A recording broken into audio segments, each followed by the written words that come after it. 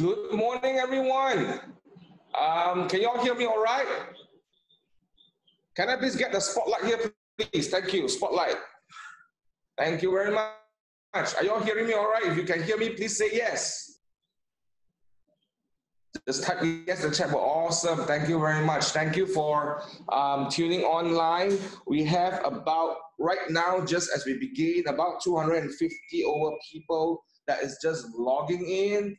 Um, and thank you for joining us um, for our last installment for this uh, virtual training version 1.0. I want to just be very uh, excited to tell everyone that this is not the end, this is just the beginning. We will be having virtual 2.0 coming very soon uh, to everyone. Uh, in the next couple of days, we will be updating our page on Facebook. And for all Redfield KW Malaysia people, you will be updating this on Workplace. Um, I can I ask all the virtual support right now, some of the virtual support, if you could um, write down our Redfield or K, Powered by KW uh, Facebook page on the chat box quite quickly right now, the link on the chat box quickly, so that we would be able to, if you could connect and, and, and uh, click, click on that page and like us and follow us so that you will be able to actually um, get updates on our latest uh, that's happening right now. We're going to do many trainings, It just to give you a little bit of previews that we'll be having trainings in Chinese language. There are five to six sessions that we are going to highlight the models in Chinese so that we can help um, Chinese speaking agents to get better, con- better perspective of the content from the MRE and shift. We'll be doing BM trainings as well and English training. So it will be three times more um, opportunities of trainings than you are seeing right now in our first series. So if you can just like us, follow us, so that you can get the latest updates right now from us. Now, before we start the morning, I just want to welcome everyone again. Again, we are hitting the 300 number right now. We are expecting about 400 over people to join us eventually. Um, yesterday, we have about 550 unique IDs join into our session, um, and everyone is hungry to understand what's going on in the shift, how we're going to move forward in the shift. Now, before I, I, I go on, I just want to welcome everyone, welcome especially our KW Asia region family. I, I believe we have KW Vietnam, KW Indonesia, KW Philippines, Philippines, KW Thailand as well in this call. Um, but I want to just go and just have a quick conversation with the regional OP of KW Indonesia. Can I have the virtual support quickly turn on the the uh, the mic for Linda Vijaya? I think she's on the call. Linda, can you hear me all right? Yes. yes. Can someone please spotlight her video right now? Hey Linda. There you go. Hey Linda. Wow. Um, I'm hey, uh, thank you for joining us for the past two weeks. Um, there, there are a lot of lot of uh, uh, uh, uh, additional motivation from all of us in KW Malaysia, where we see people like yourself from across um, regions that the technology has already opened up boundaries and all that. So, Linda, could you quickly share some ahas that you have um, in the past few days that you have joined our training? What are some of your ahas? So, I think your perspective will give all of us um, a different angle to look at as well. So, go ahead, Linda. Okay, thank you, John, for for the time. I mean, like, uh, this is a privilege because uh, we all know that uh, during this uh, COVID-19 and all the lockdown, uh, we need to be uh, there for each other. And then I see that uh, from Keller Williams Malaysia has already stepped uh, stepped in and then uh, try to really uh, gather all the Asia ROP. And then I for that uh, really thank you. And then I think this is uh, also from the leaders. I mean, like the heart from the leaders. I mean, like all the Keller Williams leaders in headquarters have already shared this, and this is the time for sharing to each other. It's not again that uh, you are you're alone, but uh, it's it's we are we are here of uh, together. So that's one thing that uh, I, I got from uh, from from this, and then a lot of our hearts. That's for sure. We learn together, and then uh, we need to double double down uh, in in Malaysia term. But for me, it's double up everything, every word. yeah. Uh, and um, uh, I I think uh, what what uh, I I learned from you guys as well is uh, the coordination that I I I really amazed. I mean like uh, I, I can see that in this in this um, um, in these situations we have to be really creative. We cannot just stay at home and then do nothing. But this is something that we need to to to get together and then do something in in extra. So and this all will pass. Thank you so much, Jonathan. I think that's my ahas, the biggest ahas that I got.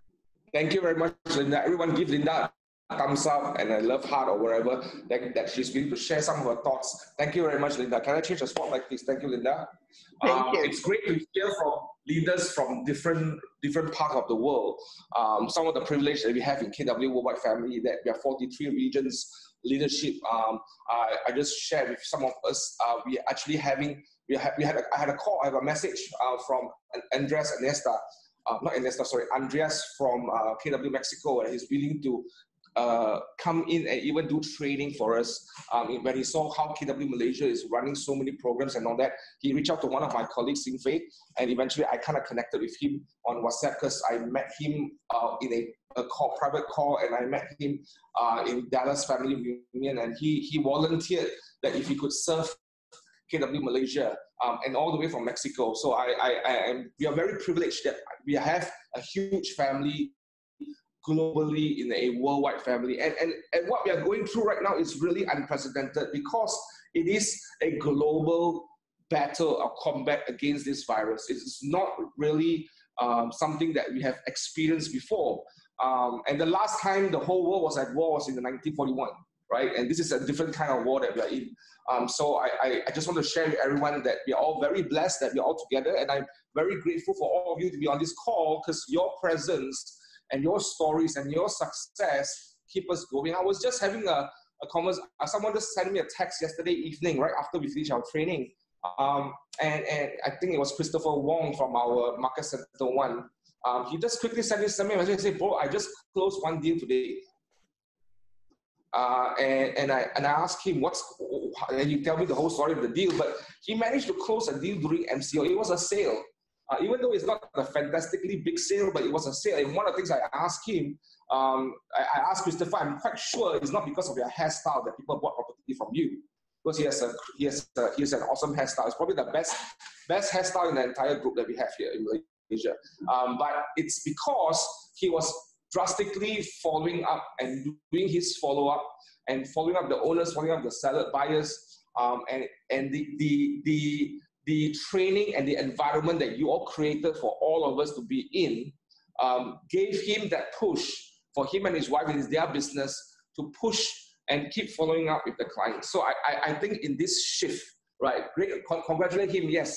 Uh, in this shift, it is vital that we all stay in an environment where we are rallying each other, where we are focusing and thinking about how how to behave in this shift. So these are some of the things that I think is already happening. There are a lot of success stories. I'm getting a lot of success stories, even how an agent did virtual viewing and did a sale. And we will come and share some of these stories very soon as we are compiling all these stories. So keep the stories coming so guys, we can um, publish it and we can share with you uh, how these people are doing. Today, we want to again focus on shift. Now, for those who are not joining us for the first time, anyone here who is joining us for the first time, please say I.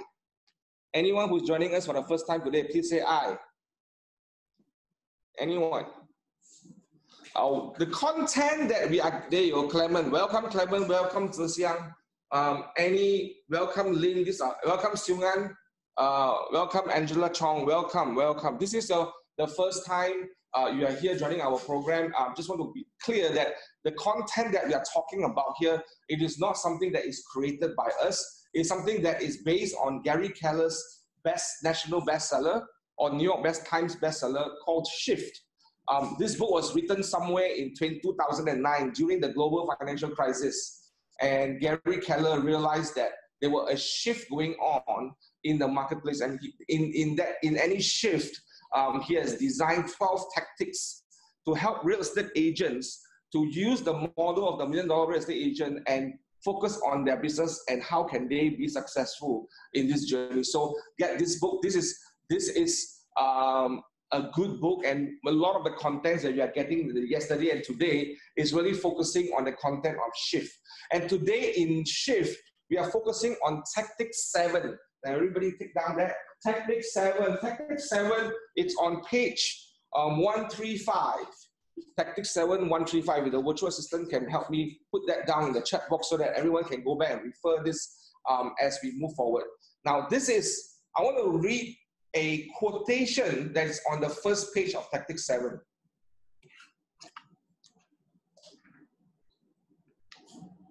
Okay, the quotation is this The ability to learn faster than your competitors may be the only sustainable competitive advantage. I repeat, the ability to learn faster than your competitors may be the only sustainable competitive advantage. Now, in this market right now, you will be facing high competition because the volume of transaction will be reduced in a certain shift market. And in that reduction of volume, what would happen is suddenly the opportunities is lesser. And that's, that's the real reality of it.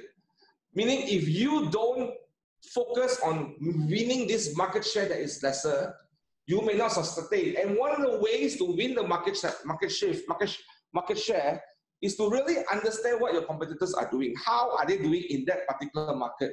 How are they helping you price the property? Even as an owner today, if you are owner watching this training right now, how you price your property ahead of the market to get buyers to buy in right now. But if your goal is to get a sale as an owner, you need to focus on how can you get someone to help you price in your property. Now, these are some of the conversation that we'll be having. I'm very blessed that we are joined by our favorite George. George is now our favorite, one of our favorite virtual trainers. Uh, George, uh, team leader from MC2, and we will be joined by Ganesh Mahindran, uh, a productivity coach uh, from MC1. Um, and Ganesh specializes in, in the area of exclusive listing and in the area of how to price certain properties to make sure that they sell and how he has conversation with the client. So I thought that today we have a three corner conversation, but George will kind of take us through the theoretical element of shift tactics seven. Are you guys ready to go? If you're say if you're ready to go, everyone say go. Go. All right. Okay, George, are you there on the call? Okay. Uh, yes. George. Okay. Good, good. Good morning, everyone. Good to see you again. Uh, uh, my name is George Tan from uh, the MC2 Refill. I'm excited today because the, it's a continuation of a series to help us as agents to become more effective.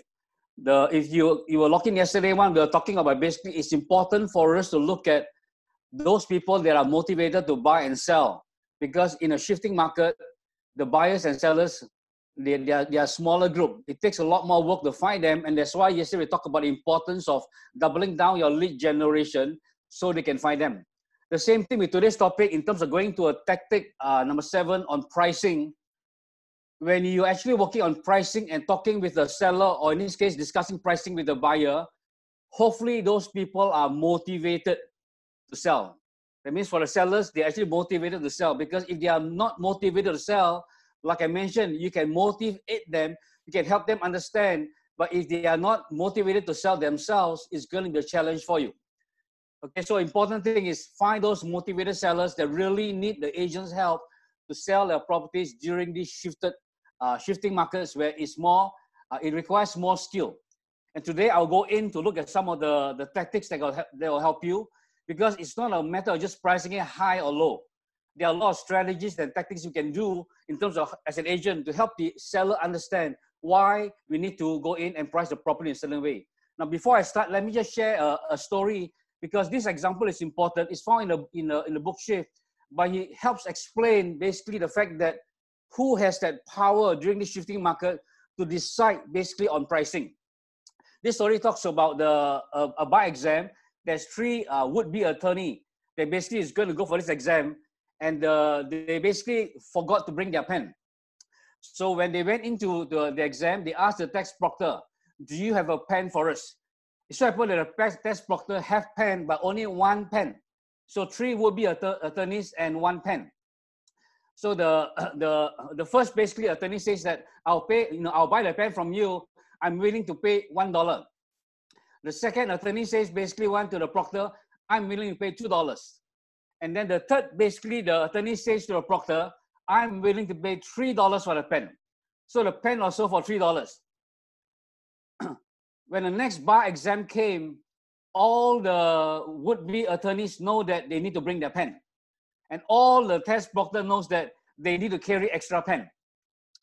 So during the bar exam one, it so happened that only the, the only one attorney forgot to bring a pen. So he thought he, he asked the, the, the, the, the, the test proctor, anybody got a pen?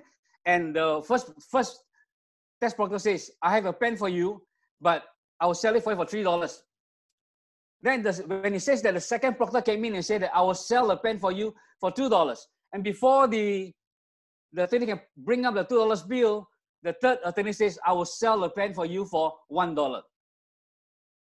What can we learn from this particular story? That basically in the seller's market, so the power of pricing is in the hands of the seller.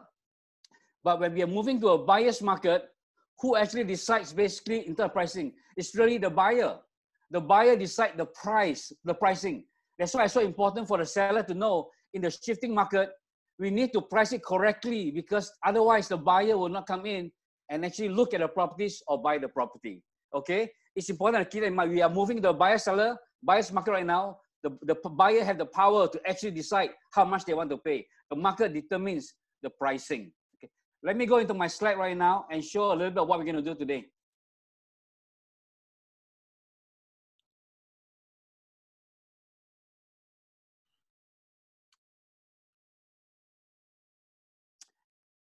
Can you can you all see my slide?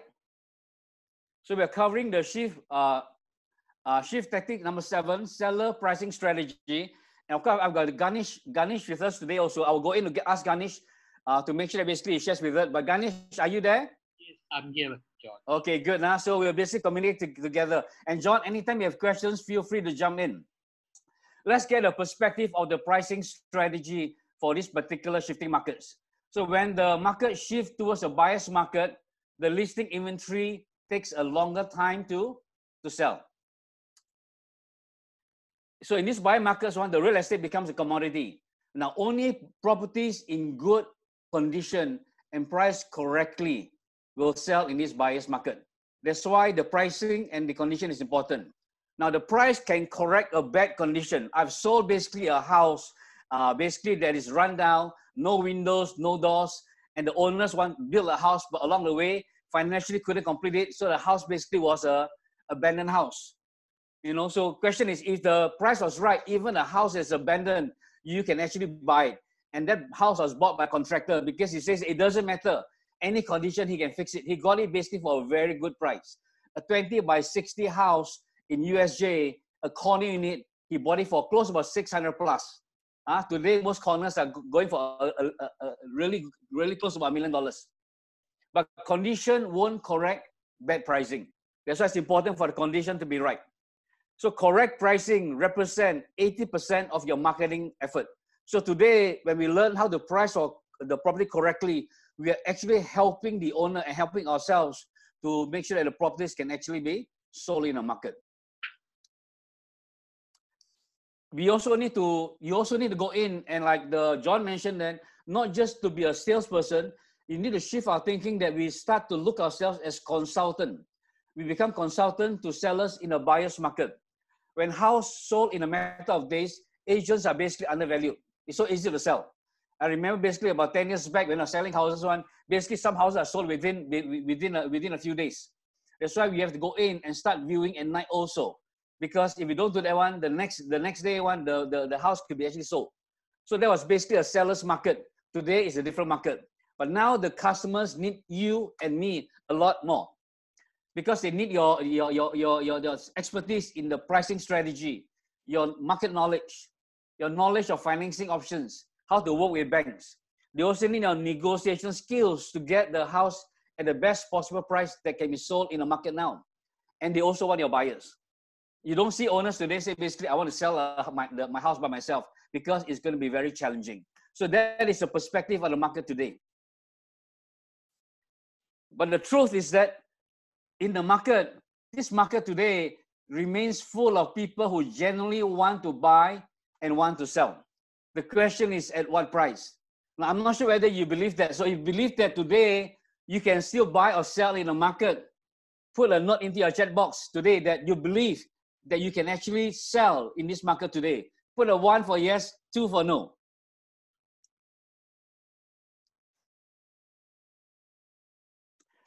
The other thing is that you also need to become the local market expert. When I say this, basically, it's because if you're not the expert, then basically someone else comes in that knows more of the market normally will get the attention of the owner. And what I mean by local market expert is that you need to have uh, local market condition. It means you know what is happening in market. Today, I know most of the things that's happening in Subang Jaya and USJ because this is the market I'm actually focusing in. Hey, You can I also need to George? Yes, yes. About the local market condition and local market, what's happening. Um, there, I think a lot of times um, as agents, we we may uh, overlook um, certain key indication or indicators. For example, you need to be clear uh, what kind of people are in the market right now in your location? What kind of what's the demographics of your market? You need to go very detailed right now because i think uh, beginning uh, in a shift everyone the first emotion that is in any buyer or any seller is definitely fear. Agree me if it's fear. Everyone is afraid of the unknown.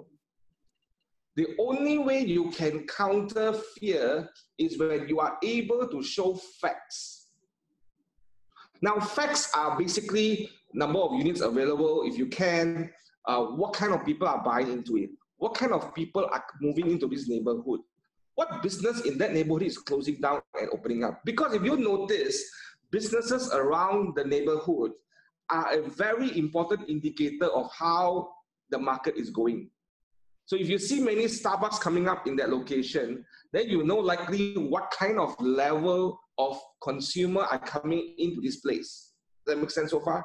So I think as agents, you need to really, you know, when I was in selling in, as an agent, um, when I was really full time in real estate, one of the things that I always do is to know, and I because I also enjoy food. If you look at the way my body build is, food is part of my life. Um, I I went so micro that I know what restaurants open, who are the restaurant owners, because those restaurant owners are likely going to be my customers if I go and see them. Um, what's going on? Where's the best food in town? What supermarket open? What banks are open? Uh, who are the bank managers there? But those are likely going to be your customers um, if you go. What what what is going on in your neighborhood? You got to be as micro as you can to bring out that potential uh, information and expertise that you can offer to your customer. Because if you don't have that right now, guess what? Someone else will. And that's how you win market share. If you go in and you dig deep and you have that number to show them. By the way, these are the open offices that's open. These are the businesses that's opening right now. These are the opportunities that is coming in right now. And this is going to make your life a lot easier. Go as detailed as you can right? So these are some of the things that um, I, I want to kind of bring it out for so that the agents, when you're negotiating or when you're bringing in that pricing factor, you've got a lot of things in your belt to pull out and, and have that conversation. So that conversation now is no longer how I feel, what I think. It is based by facts. Let the numbers do the heavy, heavy lifting. Let the facts um, tell what's going on in the market. So I think these are one of the key things for agents to look at. Back to you, John. Uh, thanks, John. Uh, yeah, that's why it's important for you know the local market condition. You must also know basically what properties are available in the market now. Those that are recently sold, pending, available, uh, which are the value buys, because most people are looking for properties that they, they, they, they know that they cannot buy during the, the, the, the, the seller market's time. You must also basically have inventories, and the in, inventories are basically homes uh, for sale or for rental. And you need to network with agents uh, for inventories because uh, over the years when I've built a lot of friends in this industry and a lot of them actually on this line also, basically these are people that you work with to make sure they can service your clients. You must also learn to engage with buyers and sellers and get feedback constantly uh, so that you know what is happening in the market. And you must keep abreast with the media happening. What is actually happening in the market today is important because these are things that your sellers or your buyers are concerned and being careful so they can go in and address that for them. Now, before I move on to the next slide, now the Ganesh, uh, based on this information, maybe I can get it online too. What are your thoughts on the what what what what was just presented today? How do you basically go in and become a local market expert? Basically, well, the areas which I concentrate on, I, I'm pretty aware of who are selling what and all that. So when I get a listing down there, I, I, I when I and I do the inspection, I will be able to guide the owner uh, with the with the facts which I've gathered over the time.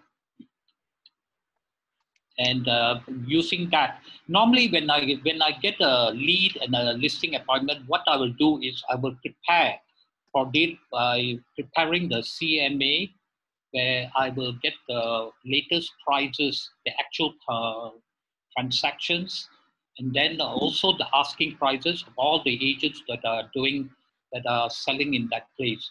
And most important of all, I will get three bankers to give me uh, indicative valuations. Using yeah. this, I will go in.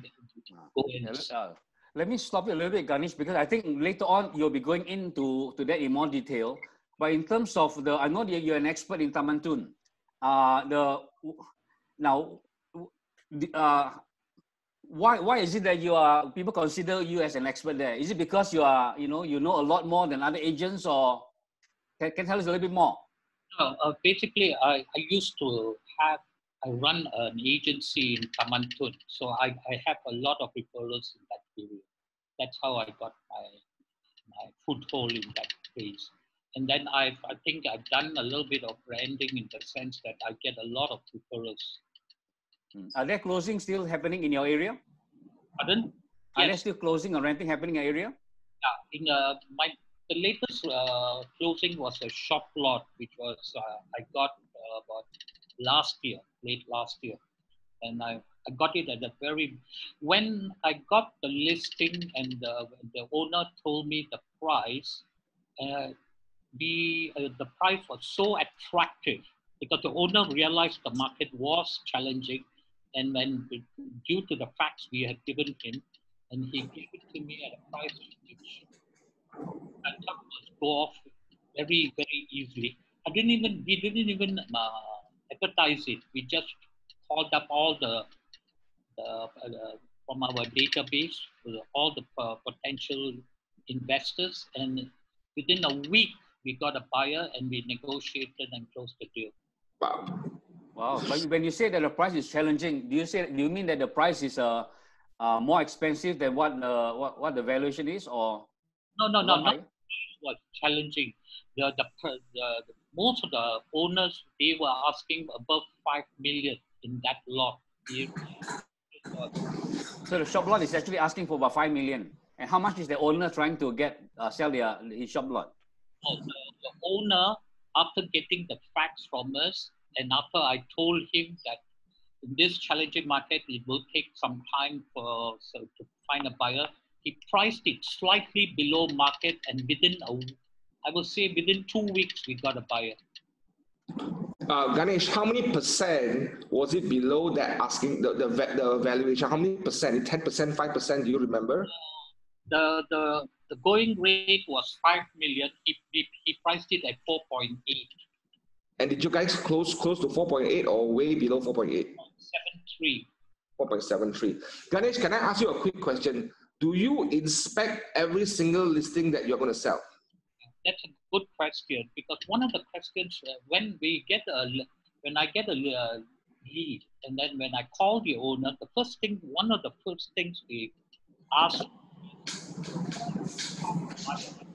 Then the second thing is, can you list it without inspection.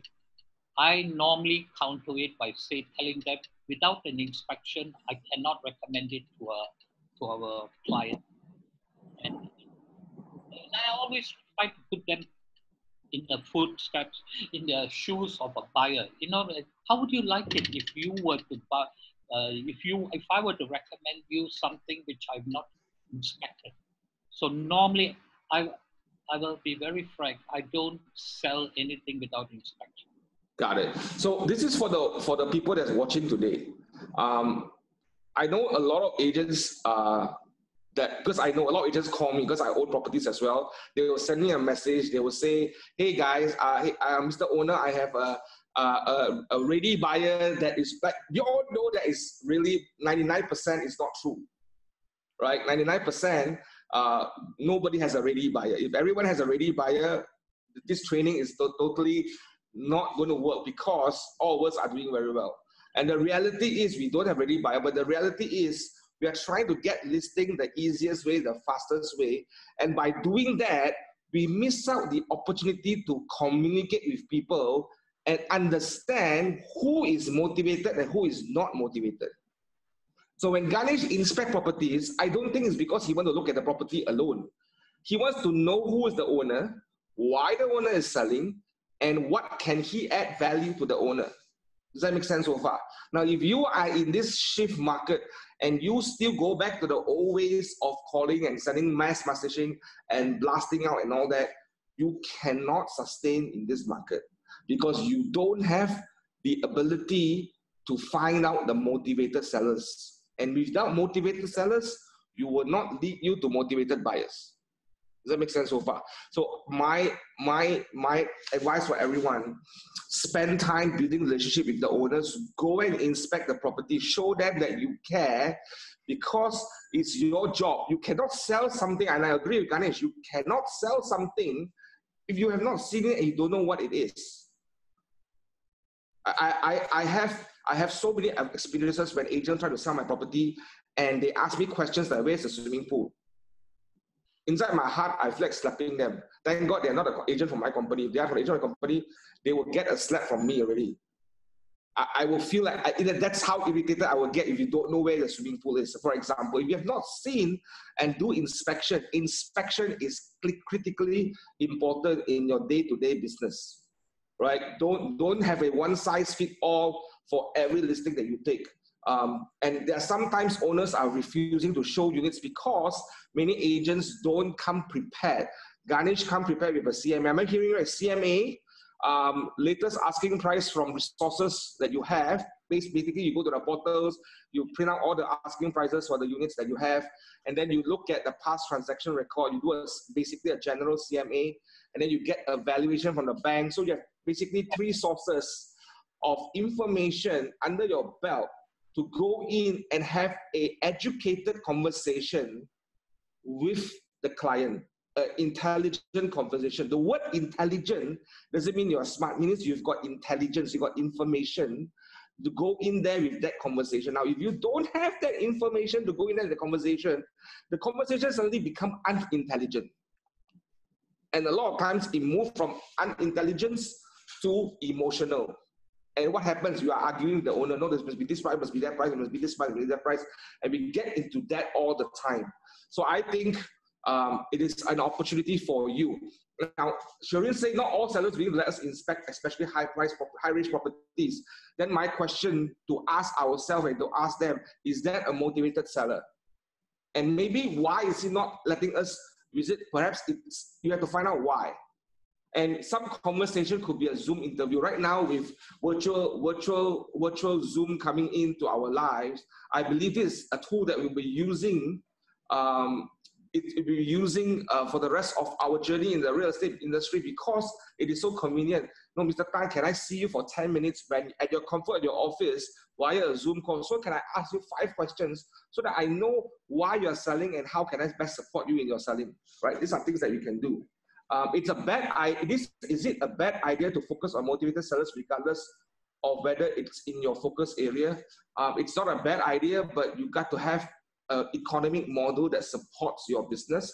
If your economic model um, does, if, if whatever you are doing that is whether it's a motivated seller in a different area, but it is not part of the economic model, then I would say no. So, for example, if your economic model is to sell 10 bungalows at 5 million ringgit and you found a motivated seller that is wanting to sell at 300 over 1,000, I would think that 300 over 1,000 property, it's actually a distraction for your 10 bungalows that you want to sell. Does that make sense so far? So you've got to be really clear on what is your economic model. That's why the fundamental of the MREA, of the economic model, is so critical in the journey of a real estate agent. Okay, back to you, George. Go ahead. Sorry for interrupting. Uh, thanks a lot. Uh, thanks for sharing, Ganesh. I'm sure you'll come back in uh, uh soon. So the key is that you need to learn to become a local market expert. And uh, you've heard from Ganesh that basically it's important to know, have information so that when the sellers or the buyers talk to you, you are able to answer. Let's look at the next slide.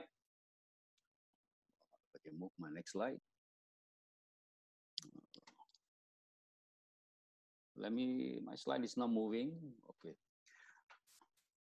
Now we're going to move into, a divided basic today's session is two portions. One is the listing consultation and then looking at right pricing. Now, normally, basically, one when we go into a pricing, you just don't talk about pricing. There are basically four stages to go in. You know, I've been trained basically in this case one when it always starts with a phone call.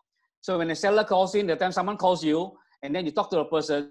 So from the phone call, basically, you set an appointment to actually go in, you know, and and, and see the and see the place. Now, before you actually go in and inspect the place, you need to do some homework. That means you go in and do some preparation work to to get your CMA and do all the checking. And after that one, you do the listing presentation. When you do a listing presentation with the with the own, in this case, let's say seller, that's when the pricing issue will come up. Okay, it's not like you just throw a pricing and then talk about it. Normally, basically for us one, we go through a system that the pricing is discussed during a presentation with the owner. That owner gives you 20 minutes or 30 minutes to discuss basically your marketing plan and how you're going to present. So this listing consult, consultation go through that process. So before I go into the pricing, I want to go in at least to understand the process. Uh, it's not just about straight talk about pricing, but there's a lot of things that have gone on that the seller understand before the pricing comes in. For example, here one, before you go in and even do anything, let's say the call comes in, you need to basically prepare yourself. That means you need to know the script, uh, you need to know the materials very well. You know, you need to go in to understand how to go in and present to the owner. You must also understand the market, uh, become the local expert. Like, like John mentioned, and Ganesh mentioned, you need to know the inventory, uh, how long the property is in the market, uh, what is the price of the property uh, per square feet wise, you know, what is the selling price, what is the landscape of the area. Those things you need to know. And you need to understand that when you go in and then you meet owner, the key is that you want to build rapport and trust with sellers and buyers. When you go in, it's not about you talking uh, the, the 90% and owner listening 10%. You reverse that. That's why we have two ears and one mouth. Huh? That means you talk, you listen more than you actually talk active listening. You're listening basically to find out ex- exactly what are the needs the seller have, so that when you go in and present, you can help him. So be a consultant, not just an agent. Huh? And one of the things that basically in a company, John always says is ask clarifying questions. You know, if you don't ask, basically you won't know. Uh, so again, is prepare yourself. This is mentally that you are ready. That means you know the script, you know the material, you understand the market, you've done the CMA, you understand you go in. It's about the seller, not about you understand the seller and basically his needs, not about you presenting. Yeah? It's about basically helping the, the seller. And your goal is coming in to understand the seller and to ask clarifying questions. So the first thing is prepare yourself. Yes, hey, John. George, can I quickly do a role play with you right now here? okay, sure. Okay, so George, you are now a seller that you are motivated, but you don't want to tell me that you are motivated seller. Now, because this is this is the natural, right? Everyone here, this is the natural. If you are in this business long enough, you will know three main facts. Fact number one, seller always want to sell high. Fact number two, buyer always want to buy low. Fact number three, agent always want to sell fast. Agree? If you agree, say yes. This is standard. Every if you know the psychology behind it, it's the same. Every seller want to sell high, uh, buyer want to buy low, agent want to sell fast. Now, George, pretend to be a motivated seller, but you are not ready to tell me that you're a motivated seller yet. And then I have okay. to work hard to earn the right to understand that you are a motivated seller. Is that okay? Yes, sir. George, now let's work. Hey, George, um, uh, thank you for agreeing for this conversation and this meeting right now. Um, by the way, George, how has the impact of COVID-19 affected your work and your business? Uh, yeah, we're all in lockdown right now. So but uh, so at this point one the work is uh, is, is, is, slow but uh, we are still we are still communicating so in my line of work it's okay because mine is a is a banking industry at this point is a mm. this is an established bank so it's okay okay so so do you do you see that uh, covid-19 has kind uh, uh, affected uh, the bottom line of your your company and, and and and do you think it's going to have some implication towards your career right now in terms of your job security and all that? How, how is that going? I'm just concerned because um, um, I think a lot of people are going through these challenging times, and I, I was wondering how, how are you going through this right now? The Oh, that's why I'm calling you because the I'm thinking of having some extra buffer so that during this time one I can you know I can extra money to to invest or to to do other things. You know? That's why I'm thinking about putting my property into the market. Okay, so so once you sell your property, what what are the what what would that opportunity? What would that you probably be holding a, some some amount of cash or some amount of funds. What would that what how would it give you an opportunity? What opportunities that you are looking at exploring with that kind of funds that you have? The well, the, uh, uh, I'm I'm not too sure yet, but like the I I know that there's some good buys that is in the market one. So mm. when the funds are there, then I would then start looking for good properties. And, and, when you are buying good properties, what's the intention and what's the purpose behind it? What's the end game for you to to accumulate all these good buys right now? What, why why is what is basically motivating you? What's the big why behind this? Yeah, the yeah probably to be financially free, but but before I go into buy properties, I think the real need is that I, I I need to have enough funds to pay for my kids' education. Got it. So how many kids do you have, by the way, George? Uh, I have three right now, and uh, they are they are schooling. How how how what are the ages? Oh, they are the the the one of them is uh, working, so that one is okay, but the other two basically is studying right now, so they are they are basically in university level right now. Got it, got it. How many years do they have left in the university college right now? The, they just started, so probably another four five years. Wow. Okay. Pause here. Pause here. Break script everyone, what do you learn? Right in the chat box. What do you learn in the conversation just now? Did I at any point in time talk about pricing his property? What was I trying to do? Anyone? Post it in the chat box.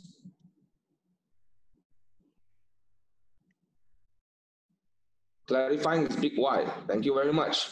Connecting with the client, absolutely build rapport and find motivation, absolutely. Understanding his intention, absolutely. I was doing what we call a need analysis and a fact finding. Right? I'm fact finding to understand why. Now, the minute there are two things that will happen in the fact find. Number one, if you don't, if, and fact finding requires a lot of skill. The first skill that is required of the agent, this is a very important skill now. Listen carefully. The first skill is to ask the question and shut up. Ask the question and shut this. Don't talk. Let him talk. 90% of the time, the customer must be talking, 10% you ask questions. And if you are smart, write it down. Show them that you are interested because you are interested. If you are not interested, this process will not work. Right? That's important. Number two, the next thing is you are, you are writing down and trying to find the reason behind right? Everybody has some level of desperation in this season, in this shift, right? But the best thing is not to bring out that desperation, but bring out the motivation. There's a difference between desperation and motivation. We're trying to bring that motivation into the, yes, I was going through that positive present right now. I'm going through the positive, the negative present were like this. George, what are your struggles? Uh, let's go back to the script, George what are your struggles right now um, in trying to uh, uh, sell this property? Yeah, the no because you know because you know that basically one I'm not sure how long this particular thing will, will, will go and then like I say banks one they are also concerned about the business side so I just want to have more buffer and I also have got mm. commitments to pay some properties to pay so generally I need a certain fund to make sure that I can tie over over the next couple of years. Got it. So you so so what sort of time frame that you think that is necessary for you before it becomes a challenge for you that you need to sell this property? What time frame do you think in your mind that you have set to expect? Yeah, I'm not very urgent. I want to make sure I get the price that I want. So so in, in a so help me understand what does it mean by not very urgent? Is it one month, two months, three months, one year, two years? So that I can better understand how can I support you in this journey of disposing this property? Yeah, I can, I can, I can probably go for maybe maybe three to six months. So meaning that you need to have that um, uh, the proceeds of the cash of the sale within three to six months. Is that right? Uh, it will help lah. It will help. It will help you. Awesome. Pause script. Now, did I find out when he needs the money right now? I didn't very explicitly ask, right? But I, I, I kind of dig deep enough to ask him that he actually needs it within three to six months. I was asking very clarifying questions. do you need the proceeds of the sale within three to six months? Is that what you mean? He said, yes. Now, what's happening right now? I'm slowly building a conversation to show that I'm interested to help him. Now, here's how it goes. George, let's resume. So, George, um, uh, in next three to six months, what would happen if we cannot achieve a sale for your property? How would that look like for you? Mm, I will have to look at other other options with the with the bank lah, or or maybe maybe might need to yeah because I cannot sell houses too many or cannot sell. So uh so I'm not too sure. Maybe you can give some suggestion. Okay, so basically you have no ideas in terms of if the next three to six months, um, your only under, your only thoughts are just to quickly dispose this particular property so that you have enough cash flow um, to support other things that you want to do. But if you don't have that right now, you pr- probably have no other options in your head right now. Uh, yeah, not I haven't really thought that so far along. I thought the if I have property to sell, that'll be the best solution. Uh. So if we cannot get this done, how will it affect your family and your your plans to make sure that there's stability in your children's education? How would that help you? Uh, how would that how how would that how does it look like? No, I think it's important for the funds to come in uh, because the education cannot stop. So I just want to make sure the funds are there. Uh, it's important. Uh. So can I understand that the educate the stopping the education is a no it's a not it's not an option. It's something that yeah, it's not it's not it's not an option. It's, it, uh, they want to be quite challenging to explain to the children. Yeah, so that's something that you don't want to lead them into that journey. Mm. Got it. So George, you know what? Hearing all these things with you right now, now if I come in and I devote my resources and time and effort to help you focus on quickly selling this property off with the right pricing strategy, would you enter into a, a, relationship with me where it's exclusively for me so that I can devote all my resources to help you and I will present you and I will be accountable to you in the next four weeks to eight weeks with a marketing plan? Would you consider entering that kind of relationship with me? Mm, I think it's possible lah because I say that if you can help me get a, a, a sell my house one, I think we can look at that option. Okay, awesome. Joyce has a question here. You can only ask this question if you are very close to a seller. No, I have not met George for the not. I'm just meeting him for the first time right now. You must come with the heart that you are interested to solve problems right now. If you got to change that mindset shift, the only way we can make more money than before and gain market share, you've got to put on the mindset that I'm here to solve problems for people that are in need and you will get paid for that because that's the value that you're bringing. So, Joyce, to answer your question, I am going to talk to everyone this manner. And some may not be ready for it, some are not interested to talk about it, then you just move away because that's difficult, because that's a challenge. Shift Book talks about this. In Shift, let me quickly bring it up.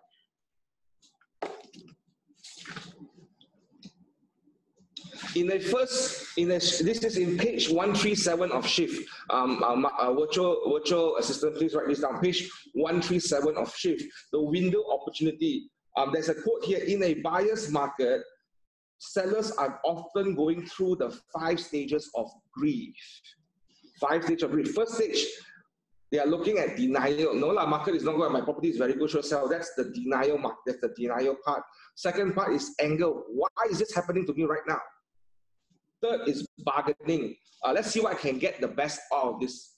Fourth is depression. Then the fifth one is acceptance. Your job is to counsel them through this. The five stages of what an owner may feel. Some may feel faster, going straight into acceptance. Some may not. Some may still be in a very in the anger stage. So there are five five stages. I want you to read this particular chapter um, on page 137 page 137. If you have got the book, that's the chapter to read to work with the buyers. And and and and is and and, it, and the way that I'm having conversation with George is not because it's something I'm learning today. It's because I've been doing this for many many years. The day, the time I remember in 2008, 2009, during a minimum minimum a small crisis that we have during the global financial crisis, that was the time that I sold the most property in my life and there was a time I bought the most property in my life as well because I, I, I understood that if I am able to understand the needs of the client and this is what you want to do, trying to understand that and have that conversation. Um, this is where you add value. I hope it helps you. Thank you for doing that role play with me, George. I thought okay, that was thanks, huh? So back to you. Okay, thanks. Thanks for doing that. Uh, okay, the first one is basically to prepare yourself, and then the before you actually meet up with the seller, it's important. Like we just talked about, basically you must uh, you must have the CMA. You must have checked the pricing from the portals that's available. Uh, it, it, can be iProperty, it can be the, the Property Guru, uh, Age, uh, Mudah, different ones that basically will give you the information about what are the price range of the property that your seller is in. You must also check similar properties listings pricing in the neighborhood that uh, that is close to where the the property that you want to sell in, so that at least you know within the area and within the the neighborhood. Research on the neighborhood amenities and check few banks for valuation, not just one, a few. So at least you know that there's a that, that there's a, an average. Okay, there's probably more things to do, but at least these five things you need to do before you actually meet up with the owner. And then during the meeting itself, you create an impression. You, me just move my slide. We cannot see my slide. Uh, you create an impression, share your price recommendation, and then set expectations. So during meetings, certain things happen. This is where the flow goes in. The in when you present it, you go through a listing presentation, and when you go through that that one, you actually uncover the seller's needs uh, over their wants. Uh, like what John was doing, basically going through and asking me clarifying questions you'll go through the home selling process, what is involved in the selling, uh, from the beginning point that you actually take the property until the point that actually you uh, you sell a property, sign it, and then work through the process. So there's a process that sometimes the owner don't understand. As an agent, you must explain the process. You must also explain basically, in our case, on three factors to get your home sold. Uh, you must also talk about pricing to sell and wh- what you recommend. And this is number five is where you you will probably go in and talk about the pricing strategies and helping the owner understand the market condition. There's, you also go in and do a comparative properties to compare so the owner understand where his property is at compared to some of the other properties available within the area. Uh, and most likely, if the owner is interested, you'll, you'll have to de- uh, deal with some objections based on pricing. And also, in this case, one, if you're getting exclusive owner, exclusive listings uh, objection. So any objection that will come basically will, will need to be handled before they close. Because if you don't handle objections properly, then they're not able to close and help the owner uh, market their properties there. Huh? Now, before I go into the pricing side, this is where Ganesh, I need to come back in to look at basically now. The I know that basically, Ganesh, are you there? Yes, I'm here. Okay, the now the uh, the Ganesh, just make sure your mic is closer a little bit because just now when you talk, it was a bit soft. Huh? So hopefully now it's okay. Okay. Now the uh, normally when you meet up with the seller to do a presentation, maybe you can walk us through the process because you're talking with us just now about doing some things before the owner and then the pricing. Maybe you can walk us through how you will do a presentation for the owner and, and the stages that you'll go through. before I go for the appointment, I, I will do my homework, prepare the CMA on the asking actual and uh, I will also get the bank uh, valuations. Yeah? You can get Ganesh slightly bigger on the, on the main screen. Him, please.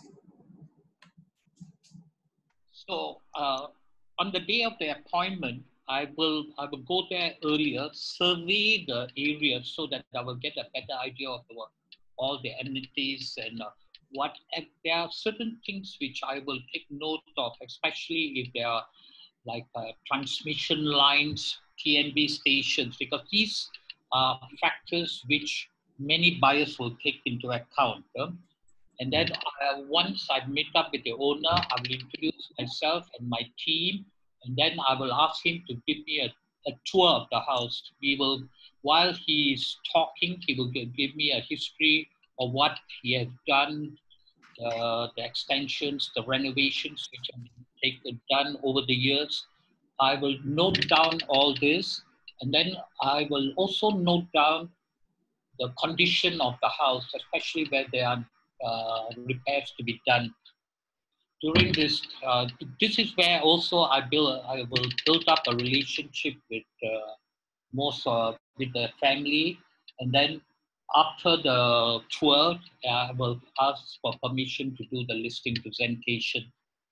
Once I'm inside, uh, once I uh, once I get the permission, and then we, I will sit down with him and explain to him the sale process, and then also I will uh, go through the pricing strategy uh, using the CMAs and the bank valuations. And at this stage, I will also explain to him the need for staging and repairs to be done and then we will talk about this. And here is where I will get a lot of objections. One of the objections is uh, why uh, not the, they, they will normally object to the repairs and staging because they said when most people buy, they will they will renovate themselves. So there's no purpose in doing this. And I have to overcome this by explaining to them that the, the impression people get when they when they make an offer will take into account all the repairs to be done. So it will be difficult if I don't. So once we do this, uh, once we agree whether we are going to do the repairs and the the, the staging, then yeah, I will just to just to check on the repair and the staging side. Because staging are referring to uh, making sure the house in the best uh, presentation to actually go in and show yeah. buyers. But in the repair side, one uh, is there an estimate cost because for a link house and a bungalow, maybe the owner might not be particular about pricing. Is it a heavy cost for repair? Yeah, especially for a bungalow, there are times when they, uh, especially when there's leakages in the bathrooms and all that, they say we are selling as is, where is basis. Uh, normally, I, I would have, uh, normally I would uh, get an estimate from the contractor and I explain to him this was the cost. And if he's uh, if he doesn't want to do it, then I will I will ask him to maybe give a discount on the price. But we will take all this into account and then I will recommend him a price. And if they do not agree and if the if if he still insists on a price which is higher, as long as it's within 10% of my recommended price, I will take it. But we will have an agreement that within the next 30 days, we will, I will do the marketing, I will give him the response, including the comments, then we will adjust the price. Hey Ganesh, can I ask in your general uh, day-to-day conversation with owners like this, your objective is to secure exclusive, am I right? I will not, uh, more, I, I have never taken a listing without an exclusive. You, so let me let me repeat. You have never taken taken a listing without exclusive. Yes, um, except one instance last year. That was okay. not. Uh, I did uh, I did the listing presentation. I explained to him what we are going to do, but before he, I, no, I wanted to go back and talk to my lawyer, and then he came back and said no, uh, my lawyer recommended that I don't get it. But what he told me was his, uh, he told me that he is thinking of selling it at 4.8 million. Immediately, I knew that was a good price. He also explained that he will only engage another uh, agent. What happened is that agent marked up the price a bit so that he later he will negotiate it down. But I put it out at the exact price which he wanted because since I didn't have an exclusive, I just went straight ahead at the price he wanted and uh, immediately I got a response. And this buyer, I believe, had also contacted the other agent. That agent recommend, uh, had uh, priced it higher than what I had priced it. Now, I did this because I did not have exclusive, because I had no protection. If I had I was I would be able to negotiate at a higher price. So, so basically, almost 95% or 99% of most listings in your career has been exclusive. In the last seven, eight years. Ah, okay. And you're in this business for how many years, uh, uh, uh, uh Ganesh? And I know you just started at the age of 10, so we know your age, you, we know your age right now. So you started real estate age of 10, but I know, I know that. Um, so how many years have you been doing real estate right now? Uh, 28, 29, going to be. 20, 29 years, 28 years. So guys, listen to this. This is good stuff here. And I know that the technical stuff in terms of the sound is, is, is a bit challenging, but I, I, I'm just trying, we are trying our best to bring you the best opportunity to hear from the best that we can offer in terms of content and experience. Um, we are hearing from a very experienced agent um, who understand how to work with owners. Um, and it is imperative that that becomes a role model for your business. You need to find role models like this that is able to help you develop um, that perspective to help you work with owners. And his intention is to solve problem, help the owner sell. Because if that, and, and he's getting into finding motivated sellers um, all his life, whether it's a bad market or in a good market, it, it is always his intention because he knows if he can find motivated sellers enough, he will get motivated buyers. In any market, I think it works across market, but I think even more right now, um, he is now having even more potential opportunity. I believe he has more opportunity to talk to people right now. I think he's more excited right now than before because there are more owners that are willing to say, hey, Ganesh, I am more willing to listen to you because there is a problem going on in the market. Am I correct to say that, Ganesh? That's true. Actually, uh, I've gone through a few downturns, and I've always told my team members in a downturn, this is the time for opportunity because many owners are looking for good agents to market. Absolutely. Absolutely. And, and that's where you win market share because when there are so many agents during those um, seller's market. Anybody lists a property, they kind of like sell, right? But right now, the agents with the skill set that is, and also the intention to solve the problem for the owners wins, right? So be, be, make sure that you are on the winning side when you are really trying to support the owners to sell their property. Back to you, George. Okay, thanks a lot, uh, Ganesh and John, uh, to share that one. Now, because of time-wise, the, I also want to make sure that we go into the pricing strategy. But at least in, uh, what you have seen is that it's important that basically you become a local expert and you must understand the process that goes through that before you talk about pricing, you have to go in and understand how to do a listing presentation. Now, some of you might not know how to do that. And basically for those that actually wants to, you know, let's say for example, if we conduct a, a session on teaching people how to do a listing presentation, if you are interested to actually join that one, just put a yes. Give us an idea what you need. At the same time, if you have questions that's related to pricing that you want us to answer, maybe you can start putting into the chat box also so that the, we can we can go in and look at those questions maybe towards the end. Huh? So let's move on to the right pricing.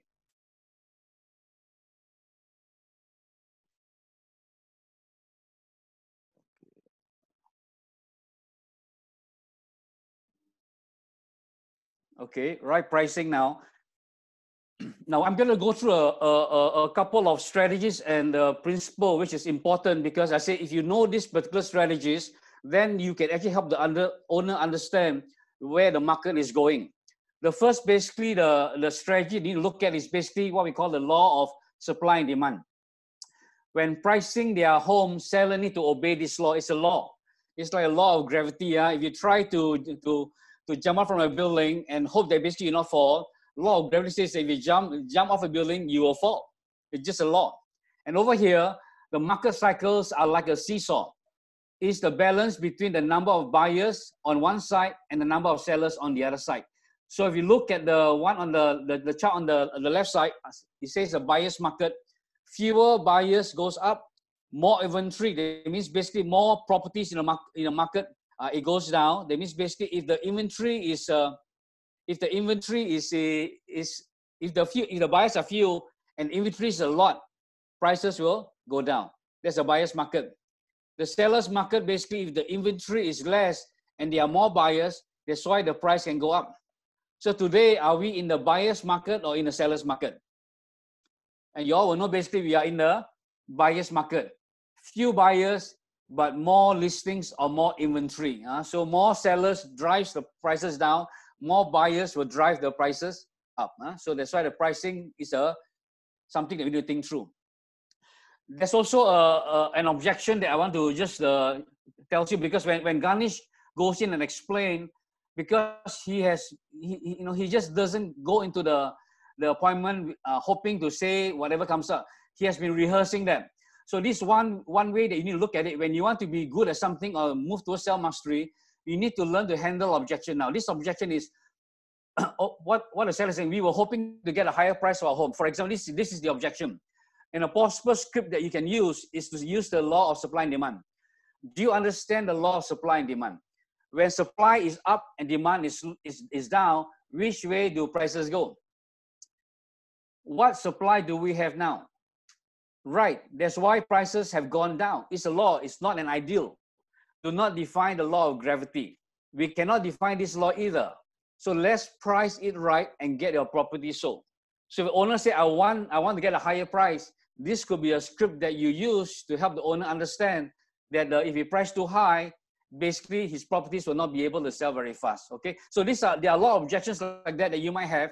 Write that down and then see whether you can deal with that. Huh? But there's always a script that you can actually memorize and learn so that you can deal with those objections. When you when you want to get the price right one, this one is uh this chart is a very important chart because the this one is a tale of uh, a tale of two markets whenever you go in and uh, now, now, now, John, I think you're also quite good in this chart. You want to explain this chart? I think you will love to do that. That's a nice way of throwing the ball back to me. Fantastic. There you go. There. We, we also learned Tai Chi also in our training. Very good. Um, I think I think this chart is a, a perspective um, that in a in any shift, right? And you notice the combination is 33%, 67%, 100%. So the 33% means what is trying to say that in a shifted market, there are 33% of property owners who are willing to be in the market, or 33% of the products are in willing to be in the market. And this is also in concurrent with this law called the law of diffusion of innovation, that 33% of people will adopt new things or will change to new things, right? So, so very importantly that when you bring out this, this particular chart to that owner. And I, I will tell this owner, guys, by the way, um, majority of people today wanting to price their property above the current situation right now. And there are only so few that are willing to do it. So if I if I if I if I can imagine how Ganesh goes into the owners, by the way, Mr. Owner, there are five transactions past six months. And this is the average price. If I put all the pricing with the same similarities, I do a comparison method and I price that for assuming the property is 5 million and there are five transactions, um, averagely it's transacted about 4.7 million. I, I, can imagine that's happening right now. And the market value or the bank valuation is right now 5 million. And right now in the market, there is a, approximately about seven units available for sale from what I can see on the advertisement. Now, this is why you have to thank a lot of agents because sometimes this is where the agents help you because other agents, right, in the market, they like to put up a lot of this thing that's not real one, right? So this are this is where it helps you. That the inventory that I can see right now uh, from I, I, our screenshot um, my my the uh, PropertyGuru or property i property listing this is where the inventory is right now. Um, and we have about seven to eight of them selling uh, trying to sell about 4.7 4.8 now if you need to sell the next three to six months you've got to price ahead of the market so that you your unit gets the attention first number one.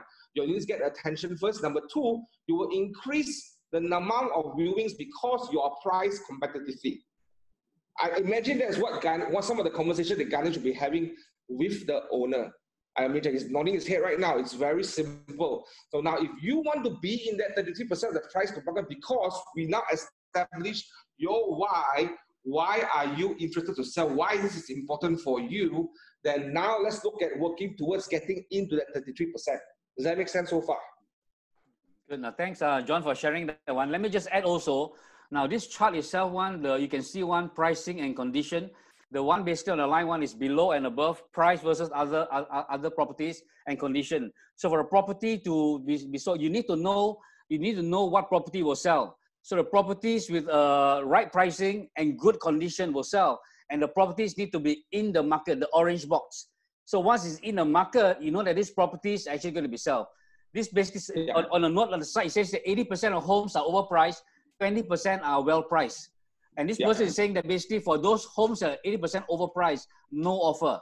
Those are 20% and well priced, multiple offers. So when you yeah. price a property, you must make sure that your properties is in the market. Okay. Now, when you say out of the market, that means basically it's really overpriced. The no mm-hmm. man's land, John, the what is the no man's land? Meaning, meaning that that guy is neither here nor there. So, for example, uh, I give you an example. I think Josh brought out an example about how a owner was renovating halfway. Just now, right? The the, the, yes. the corner lot or whatever, right? I have a similar experience in 2009. Um, I was looking for a bigger home. I was looking for a four bedroom apartment. Um, and there was this particular house uh, in Mont It was a 3,000 square feet with two car parks. Um, it's a duplex unit. Um, and the owner was looking at 1.1, 1.2. Market value was 1.4. So about 200,000 below, about 15, 16% below market. Not a bad deal. But when I went into the house, it was half cooked. What I mean is half cooked. Uh. Half cooked meaning uh, you can see aircon piping, but you cannot see aircon. You can see kitchen cabinet, but you cannot see the top. You can see the walls, all the partition all redone, but there's no painting on some part of the wall. Some walls got painting, some no, no painting. So it's neither here nor there, but it was a good value market property. No man land, two years cannot sell. Two years cannot sell. And that's an example of no man land. So I went in, I made an offer, I bought it at 900, 920,000, I think. What is 1.4 million? I bought it at 920,000. I am a motivated buyer. if you can find me a motivated seller, you might get me. A, so, so, uh, but please, all you, all 400 of you, don't call me after this call. Okay, uh, I, I, got limited funds, so, so yeah, don't don't call me just because you got a motivated seller. But that's how it is when you bought property. When I buy property, I actually motivate as a seller. The agent was no agent. Number one, no agent was interested to help the owner because when they saw and in no, no man's land one of the problem is you can bring out to the, the, to the owner i would think that one of the number one challenge is getting an agent to work with you because your property is in the no man's land right because so why because important. In, ah, yeah. yeah it's not that i'm not motivated but i am not in realization that my property actually cannot sell if i don't make adjustment right the good point you mentioned that john because if the if the property itself is uh, it, there's no viewing, there's no activity, uh, no agents bring anyone there, maybe the price price of the property for the owner is actually in a no man's land. That means neither here nor there. It's not too yeah. high, it's not too low. It's just that no one is interested to look at it. So after two years, what will happen to the owner, depending on his condition, he will go through what we call, yeah, he's in stage four in depression and acceptance. And I was the only offer that came into him after two years. He told me that very openly. And that was my opportunity. Right. So, so one of your opportunities right now, if you are smart, go and look for owners who've been trying to sell for one year and two years. I wonder, are they ready in already in the desperation or depression right now that you can get them out of it right now? Yeah. Right? And, and uh, realize that you are a consultant means you're going there to help them solve a problem. You are not Absolutely. there to take advantage of them. It's a way that they need help. So most agents run away. But for you, is that you must go in and help the under, owner understand how their property yeah. is priced. Now, most of our yeah. properties, uh, thanks, John, uh, we'll come back yeah. to you a bit, a bit later. But over here, the next next one here, this one basically is uh, what the seller market will look like. Again, its price and condition is important. But in a seller's market, a lot of properties are in the market. That's why you see that the orange box is very big. Those outside the market one is less. So in the seller's market, basically almost any property can sell. That's why for Asians, one their skills are not, uh, you know, they don't use their use their skills don't show up in a seller's market so much. But in a buyer's market like this, where the properties are, you know, limited, that means most of the properties are actually out of the market pricing. You need to get the owners to price it correctly so can help them sell. Okay. And the other thing to note is that the market does not determine the price of the property. You must have the owner know. Basically, the value of the house is not how much he wants to sell or how much how much the agents want to make. The market determines the price of the property. That's why it's always important to get a few bank valuation because that's where the owner knows that actually it's a fair market value. The question is, from the fair market value, how low do you need to go? Uh, because that is where you can guide it. So we are, we are, you know, we are, we are being objective. You know, again, it's John always says basically let the facts and figures do the heavy lifting. Present the facts to owner and let the owner decide. Huh? So hopefully you're learning something that uh, this chart itself explain a lot to the owner without saying anything much. Pricing is important, condition is important, and so forth. Huh? Yes, Hey, John. George, I want to quickly take one minute here because I think Paul Im has a, has a question, which is a very good question. How to convince a seller to sell low if it's below on and no profit for the property, especially property. So the goal is not to convince them to sell below for a profit. The goal is to ask them, what does it, why are you selling? And what if you don't sell, what happens to you? You leave that decision to them. Because we all know right now, today, is either we cut our losses, just like in stock market today. Uh, there's a Chinese saying called "xu xiu dong yang." There is this this mindset that we need to have in order for us to lose a little bit is actually a big win for us. Maybe it released my pressure for loan. Maybe it released my secrets for me to look at other opportunities right now. So that is the that is the mindset that we have to have by throwing the decision back to the owners. And I know you're going to lose money, but you tell me is selling this property more important or losing money more important? You make a decision on it. It's your call. Well, yeah, I hope that answered the question. I hope that answered the question. I thought that's very important. Mm, Okay, thanks for sharing that. Huh? Now the other one, basically, the move on is the now Ganesh. Anytime you want to jump in, feel free. Yeah. Now the, the now this second one basically is don't miss the window of opportunity, and what that means is that there, there's only a window basically for the for the property to be highlighted and getting the best value. The first time someone sees a property, that is what we call a window of opportunity. That is the best time for the for the agent to sell a to, to, to sell a house or the owner. Now that chart basically uh, activity level versus the uh, weeks on the market.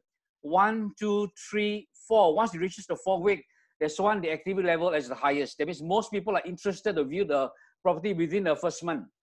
You know, after that one, basically when it goes through, then it begins to actually go down. So you must help the owner understand the reason why you must price it correctly is because this is the best opportunity to go in and sell a property. Because if you don't do that, later if you keep reducing the price and we'll show some charts later, that is where you are going in to chase after the market. Now, Ganesh, you have any thought to share on this one here, whether it is true for you that most of your property is priced correctly, is sold within this window of opportunity? Uh, yes, George. Uh, I always tell them that the, the, the interest is most in, in the first 30 days. And if we lose that opportunity, it's going to be difficult uh, because one of, one of the questions many people ask me when the, when the property is in the market for so long is why is it there? What's wrong with it? And that's something which I I try to avoid having. And that's why when when there are times when some of the properties I've been marketing and then sold have been in the market for more than a year. What we do is we withdraw it after a few months. We withdraw it from the market and put it back again with a new price. So that's my strategies yeah, for Okay, uh, uh, good you know that because there's always a window of opportunity there. Uh, so let's look on at the, the another strategy that we can look at and to consider. Now, this is the one that basically John just mentioned that if you're not taking notes on this, uh, this is the slide you need to take go through because you're a consultant. So in the buyer's market, sellers are often going through the five stages of grief. One is denial, then it goes to anger, bargaining, depression, and then it goes into acceptance. So my job is to counsel them through the process. So it's important because it is a process to go through. The owner just don't drop the price immediately. Uh, yeah, it might start high, but as you go through a process, they will actually reduce the price. In fact, basically the uh, the today one, if you have uh, buyers that are looking for properties, uh, you know, in the in the in the Klang, I've got one in actually Bandar Puteri Klang, it's in Kerongsan 10. Now this property basically one, the it was priced at actually close to the when I checked bank valuation, this property is a 2275 house, a corner house. The bank valuation came in at 720 uh, to 790. The lowest valuation for a bank is 720. The highest from the bank, a few banks, is basically 790, which means that I was trying to sell above 790 because that's what owner wants. Owner wanted me to sell at close to 820. This was close about a year ago. So basically, when you put a price at the eight, the 821, there was very initially the, there was some response, but the, the price was too high. So we talked with the owner and reduced the price down to 780 and 770. And then there are still no takers. Now the owner basically after six months becomes more urgent. And now it's about one year. The owner needs to sell it. So we have gone in to move the price down to actually 720 already. So Hmm. 720 for a, a, a house in Krongsang uh, 10, gated, uh, market valuation basically one is you know right at the lowest end. And right now we have convinced the owner not to to price it ahead of the market. We are going at 700. So if you want to upgrade your house, in, in a basic house there is easily 600, 650. By paying a little bit more, you can upgrade to a corner. Uh, in the Bandar Puteri gated area, very easy access to the, the highway. Give me a call uh, because I also want to go in and sell the property, okay? So because the buyers go straight now, I, I realize the buyers go through there. So I'm going to counsel and say that this is the best way to sell the property.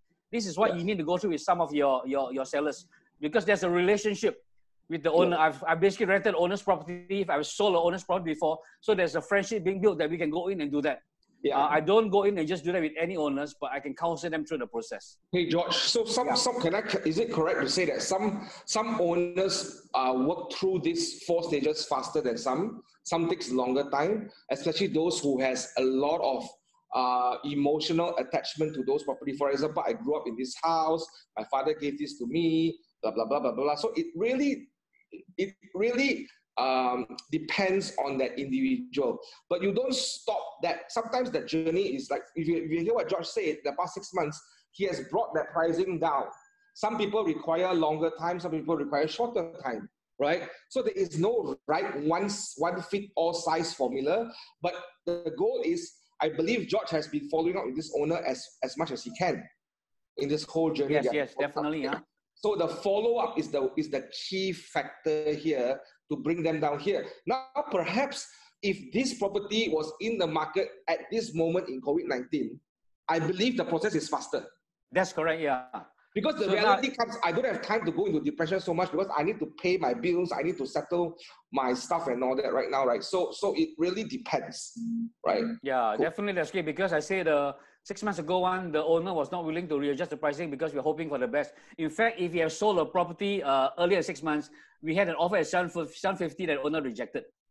So, mm-hmm. so again, it's like these are where the owner understand that the what we walk, walk through this with the owner. And, and, and Josh, this is this is a good story to share with your next owner about how that owner now is facing the market. I'm to say that. Yes, correct. Story. Yeah. What, what, this is an example of how owners are now chasing the market because they didn't price it right in the beginning. Right. Go ahead, Josh. Okay. Uh, thanks. Uh. The other thing that you need to look at is also look at the, the, the pricing itself must reflect the market movement.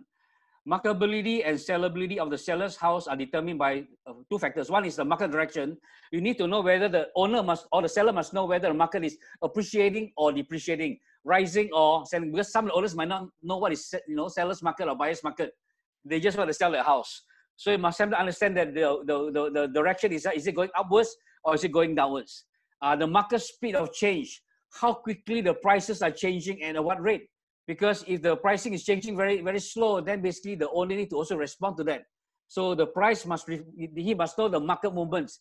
Only the agents can help him. Local agents that monitor the pricing and the trends can guide the owner. Uh, Mr. Owner, the, the houses in that area one, two have transacted by this price. So it's important to guide the owner in this, this particular conversation. Let me share a couple of slides and then we'll jump in to have some questions there. The fourth one is don't chase the market price ahead. Now, in this tactic one, this is really the header.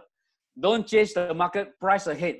Now, what we mean by that is whether the market is going up or down, you want to price your listings ahead of the market, ahead of it on the way up and ahead of it on the way down. So right now is about so we know that the pricing is on the way down, not on the way up you are in a race against time. The best price you'll get is the one you get now. If you wait, it will be lower. It's important for you to realize that because when, when the seller rejects an offer, that might be the highest offer that he gets. You know, so you need to also go in and, and, and caution the owner on that one. These other two charts to actually explain. Now, the what exactly is uh, the the this one is the hold on. This one is a seller's market. In a seller's market one, the note on the right side says this rising market, seller thinks time on their side may price above current market and hope market will catch up and bring them to price, bring, bring them to price, they, bring them to the price that they want, provided the market continue to rise. Now this one here, one, uh, in I've experienced actually the last, even last year itself, actually the last six, the last six months, one owner basically of a property in USJ.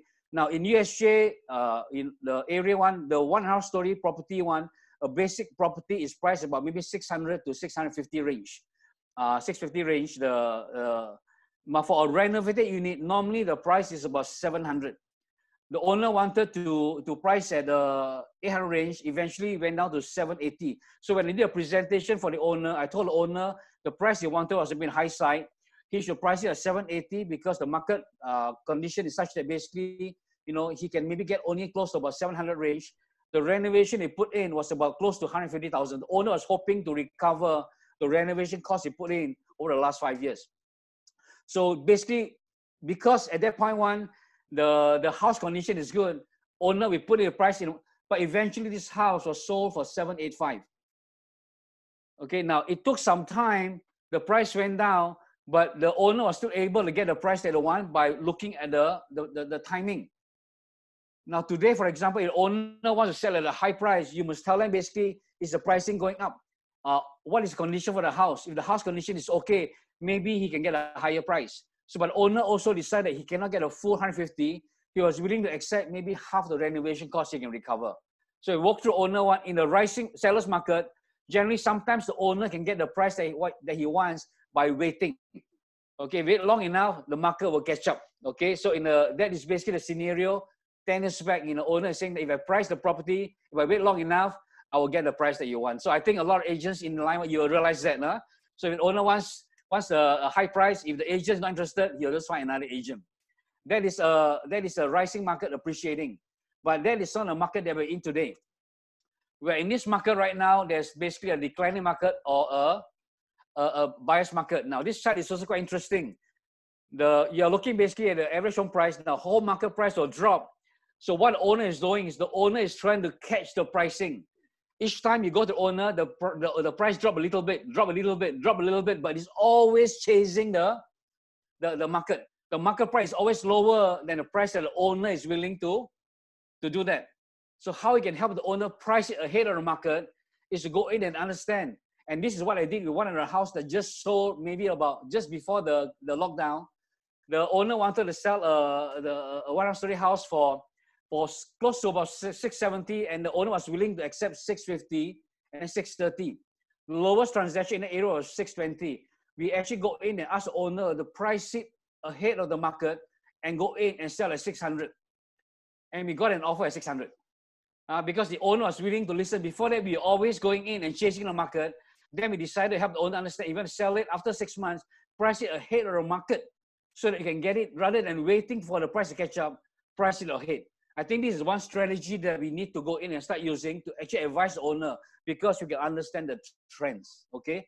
Now I've gone in to look at most of my slides already, except the last one. But the any any any thoughts that you have right now because I want to pause here. It's very important to understand what is rising market, falling market, uh, how to price it correctly. Maybe any question and, and Ganesh or John can jump in right now before yeah. basically we close the i think i think there was a question uh, there was a question earlier from uh, let me just try to go back to the um there you go there's a question from K. Stan. some sellers will go talk to a few agents to get a feel of the market price with the intention to get free quotation how to handle this type of sellers this is the best seller to work for i repeat this is the best seller to work for why because if they can and i guarantee you 80 to 90 percent of the agents won't be working the way George and Ganesh is working. Agree with me right now.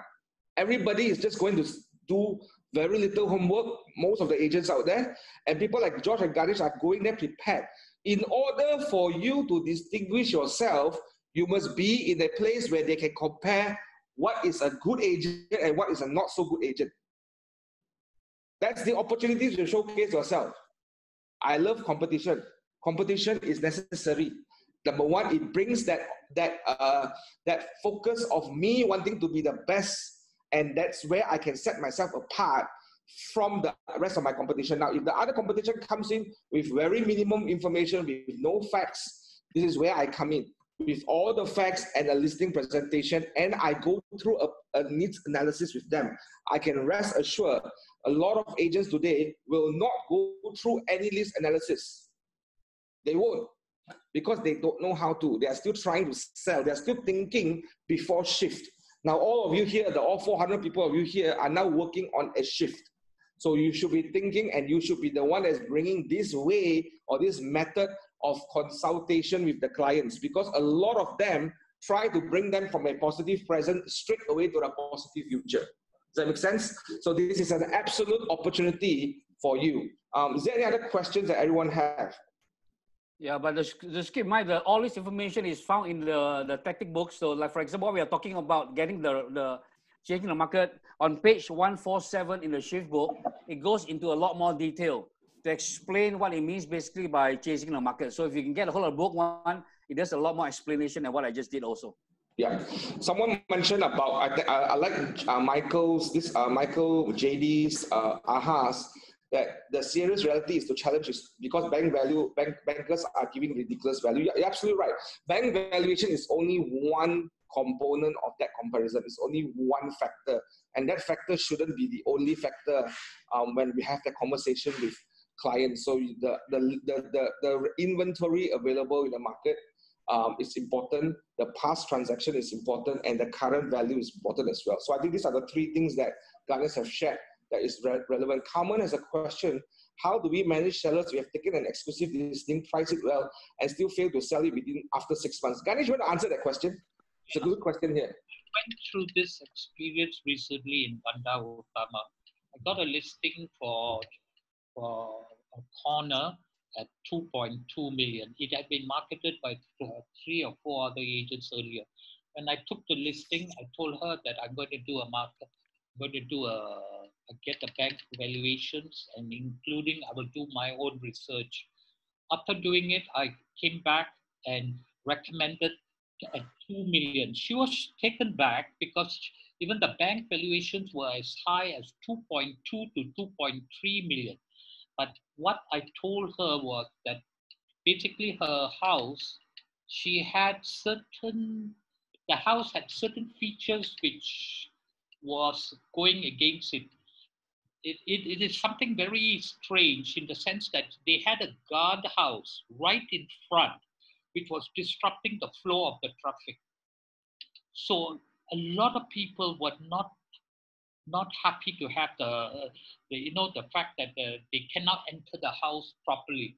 So when on paper it was easy, 2.2 million was easily saleable, but when when I actually inspected it, I saw that it had this uh, this uh, disruption of flow of traffic, and I, I told her that a lot of people are going to be against uh, buying it.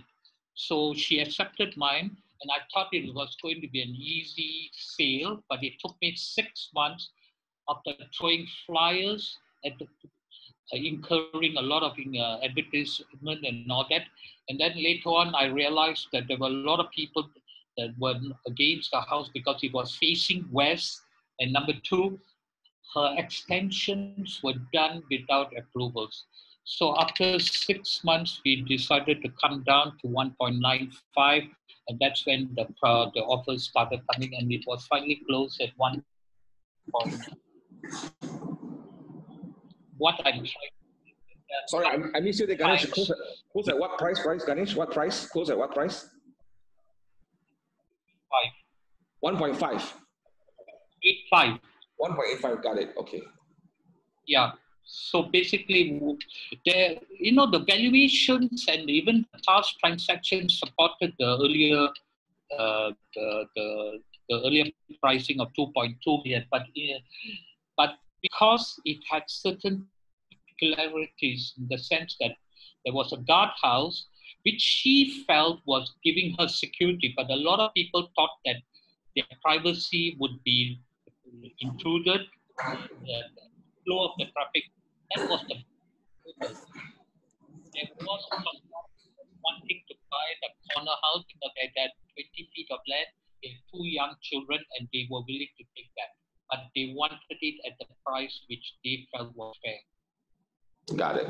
So basically, to answer Carmen's question, it's really the journey of um, kind of like twitching it, working around it, trying to figure out because there are certain things you wouldn't figure out until the viewing happens from other buyers to know, hey, that's a problem here. The door is the wrong wrong angle. The gate cannot open fully. Um, the west west side of the sun on this corner of the house really affects the way I feel about the house. So all these things can only happen when you bring in the viewings, right? And I and I and I think every viewing you do, you probably stay in contact with the owners very closely. John, in this uh, case, normally I give a marketing report, uh, a monthly marketing report stating all my activities together with the response. In this case, every viewing, after every viewing, I will get feedback from the buyers and I will actually copy whatever comments they make and give it back to the owner. So the owner, this house fully paid. So actually, she was not desperate to sell the house, but because she was going to be alone and her, her husband had passed on and that she had only one child who was living away, she thought the house was too big for her to maintain. So she, wow. yeah. So, but in this case, I every after every viewing, I will get feedback. I will push guy to, to give me the feedback in uh, in uh, WhatsApp, and then I will copy it and send it to her. Getting a feedback, and she knew the resistance. Wow. So this is really you are not even you're not talking to her based on your own feeling. You are giving her evidence of what's happening. Guys, there's one thing I want to share with everyone here. If you have not learned anything in this training session, remember this. Evidence come before emotions. If you are professional in your work, show up with the evidence. What you heard Ganesh did just now, he was doing constant diagnosis of what's going on in that property. I mean, basically, he's behaving like a doctor.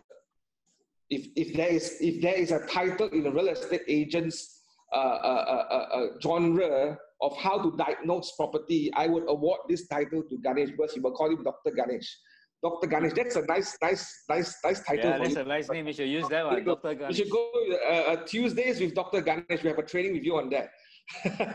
so, so that's that's that's really something that that I think is important. Now there are a lot of questions coming in.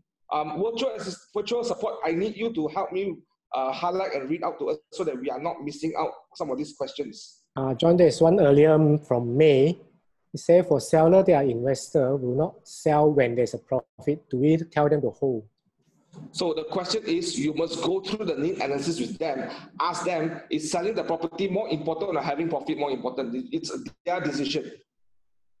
If you know that, oh no, I'm okay. I, I just need to make this profit. I'm okay. I don't need to sell yes, then maybe your advice should be maybe don't sell. Put it out in the market first so that it comes back in because there's a strategy, right? If you if you feel view it for the first time, it's also a strategy. So put that mark that property out of the market. But you got to be very clear and very really understand whether selling is more important or profit is more important for the client. It's very important. If you if you have not established that, I wouldn't go into the prescription mode yet until I know the facts. Yes, what's the next question? From Elaine, how do we reduce seller price lower than the previous rejected buyer's offer? As example, asking 590, offer came in 550. Which owner rejected? Now I think 550 is also going to be tough based on the transacted price 550. It's a fair price, but few call, few will wins. So, so maybe George should take that question. It's very similar to your client question right now. Uh, yeah, I mean, the, the, the one thing that we need to realize is basically the pricing itself is not uh, up to agents or the owners, it's really the market. So the only way sometimes you can solve this problem is to find more buyers. That's why it's important to do lead generation because the uh, my experience is basically every house can be sold. So if the even at the, the price at the slightly higher, but it has to be within a fair market value. I cannot go in and get the owner to sell it at the price that I think the buyer want to sell because in the buyer's market, the lowest price, as far as the lowest price for a buyer becomes the value price because he believes it can go lower. So in the yeah. buyer's, probably the buyer's market is that today if I tell a buyer this is 550, he thinks it can go lower than 550. So, and I'm actually struggling right now with the one or two deals where the buyer actually confirms that basically he wants to buy a property at this price. But uh-huh. even when it comes in to get him to get issue a check, he holds back because he say that I, I think it can go lower. Mm. That is a challenge that we have. We need to go in and also educate the buyers that the this basically is a fair price. If you don't take the, the take advantage now, you will lose them. And now, yeah. Uh, you know, once the property is sold, I will go back to those buyers and tell them basically that property is sold. Can I find you other properties? At least they know that basically they cannot go in and keep chasing and pushing the prices down. So I think for that question, I'll say find buyers that are willing to pay at a price. If not, get the owner understand that where the market is at so that he might need to reduce the price down. It's a process, you know, let the owner go in and make the decision for, for, for him. Uh, maybe let, let me move back to my slide because uh, one or two more slides before we try to close it up because we have 10 more minutes to go through. Uh, this last last point is very uh, very important to to realize that, and he also covers the point that uh, we just did. As an agent, you you must my, oh, my slide not coming out. Click, click on the screen. Click on the screen, then you yeah. It doesn't seem to move. Is it? Let me just get out. Uh, let me let me stop. The, my slide is not moving. Know, let me share again the slide.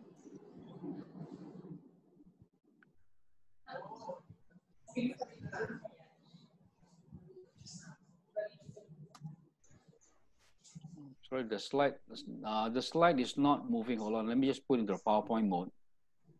Maybe go to another mode and share that. Okay. Can you see? Can you see my screen? Yeah. Okay. The now this one here is don't be afraid. Don't be afraid to be professionally honest. That means you you must also go in and realize that actually they own hold on. Uh, let me just disable my screen. Okay. Don't be afraid to be professional professionally honest. Professional honesty is the best approach. You understand where the seller is coming from and being professional enough to tell them the truth uh, such as the market condition the property condition of the house, the features, the amenities, the buyer and the buyer agent's feedback, and comparing other markets, other products in the market. That's why you saw what Ganesh was doing. He was just being honest with the owners. Based on the market condition, this is the challenges. Uh, your property condition at this point to sell it is going to be a challenge. Are we? Are you willing to do something about it? So buyers and buyer agents feedback. Those agents that brought the buyers to look at property, this is what they say you know the the this is uh, so I hope you're not offended, uh, Mr. Seller, but this is the feedback basically on the past to you, and this sometimes I'll tell them this is the pricing that the the the buyer offer, and these are the properties that in the market. Because if you are not honest with them, then sometimes no one is telling them. Because if they want to sell a house, they might need to work with you. And the challenge is that as an agent, you must get the owners to really trust you with those findings initially in the beginning, the owner might not believe you. But as you go along, he realized actually you're working very hard on the properties and you're providing evidence for him to see that the trust level between you and the owner is building to the point that when you ask him to lower the price down, he realized that you are not trying to, to you know, to, to get a, you're trying to get the best price possible for him at the present situation. And that's where really is challenging for you agents. You need to build that rapport and then build a trust so that when it comes to closing, the owner knows that you have his best interest. It comes from the heart, not mm. because I want to make my commission. So this last one is very important as an agent that you are sincere. You know, the the you want to serve the the owners. And again, is that's all I have, uh, John. The maybe go back, uh, go back to you and see how we can take it from here because you have another maybe 10 more minutes only. Yeah, so there are a few questions here that I think want to address. There's one from Hannah who some sellers are following up for a long time. When the real buyers come out but offer a much lower selling price, seller request to cut our commission. Now, this is uh, realize that your commission is a part of that, that potentially could be part of that negotiation tool. But again, I always know if you know why your buyer want to buy and why your seller want to sell, then you know between the buyer, the seller, and the agent, who has got more to lose? Who? Who lose more money? Buyer, agent, or seller? Who lost? Who lose more money? Anyone? Put in the chat box. Seller lose more money, buyer lose an opportunity. You just lose a commission that you could earn that from another deal. Because this is what you do every day. So in order for you to be in a strong position, make sure you're working with a lot of sellers, a lot of buyers. That's when that that is the moment when you are able to tell the seller, I'm sorry, I can't do this right now. This is the best I can do. Why don't you think about it? If you're interested, let me know. If not, I will bring this opportunity to someone else. I'm not threatening him. I'm just telling him if you're not willing to do this and I'm not going to get paid doing it this way, which we all agree about, that's why having that con- contract up front to agree on your selling price or to, sorry, to agree on your commission up front. Most of us may not be taking uh, authorization to sell up front. That's where you are trapped. Does that make sense? So that's, that's where most agents are trapped because they don't go through the process.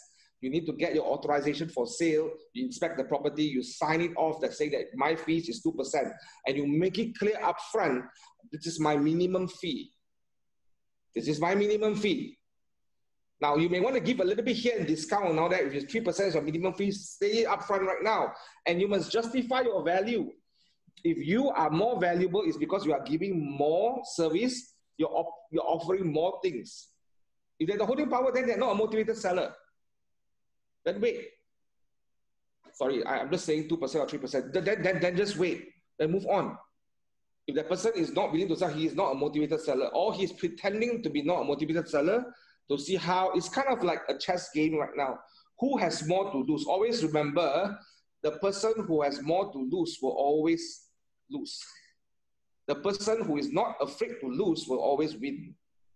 And you will win more than you lose. Sometimes maybe out of 10 deals you do this, you win six deals. So you win more right? So I think that's the perspective that you all need to, to have that right now.